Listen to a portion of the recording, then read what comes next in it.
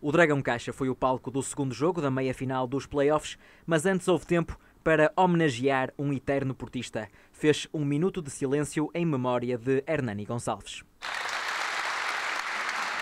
Depois de vencer o primeiro jogo nos Açores, o Dragon Force recebeu o terceira e cedo começou a marcar a viagem para a final.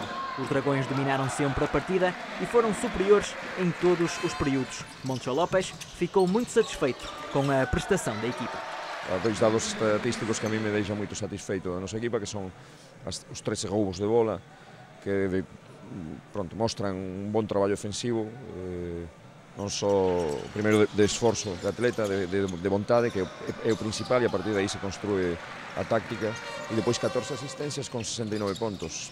Eh, non, é, non é fácil dar tantas asistencias e, e significa que, que, que prácticamente todos os pontos saíron... Eh, de, dun pase eh, bon dun, dun colega, unha maneira de xogar altruista, eh, generosa e, e me deixa satisfeito. Sinto que a equipa cresceu nesta, nesta eliminatória. Uma boa exibição coletiva que resultou num facto curioso. Moncho utilizou todos os jogadores disponíveis e ninguém ficou em branco no marcador.